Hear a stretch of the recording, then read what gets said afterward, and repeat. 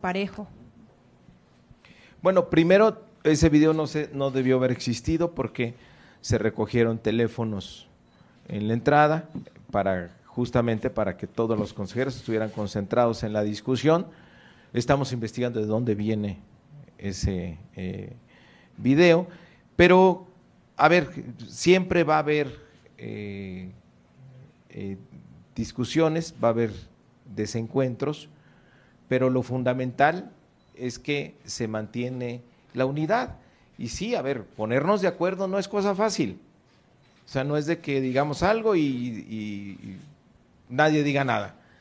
No, este trabajo de unidad ha sido un proceso de mucha paciencia, de mucha conciliación, de mucha madurez finalmente de cada uno de los participantes. Entonces, no, no pasa nada.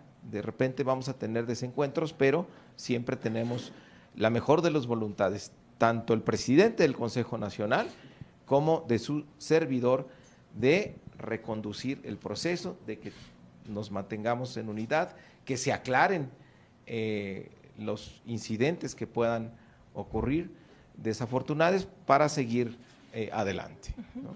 Uno de los comentarios que hizo Chainbaum fue, ya estoy cansada, le dice, es porque le han hecho más comentarios al respecto. ¿Han hablado ustedes con Marcelo Ebrard y con Ricardo Monreal, que fueron los que llevaron gente?